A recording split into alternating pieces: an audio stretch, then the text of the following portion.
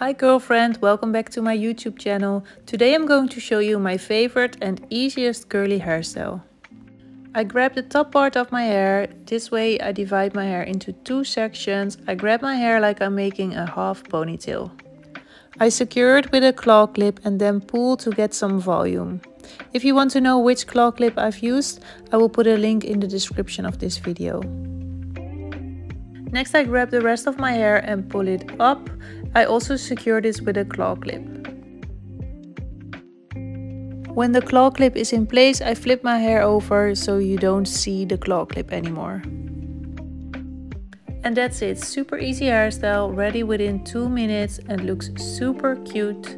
If you liked the video, leave a comment below and I also would really like to know what kind of hairstyle video you would like to see next or if you also want me to do some wash day tutorials on YouTube, let me know. Don't forget to subscribe to my channel.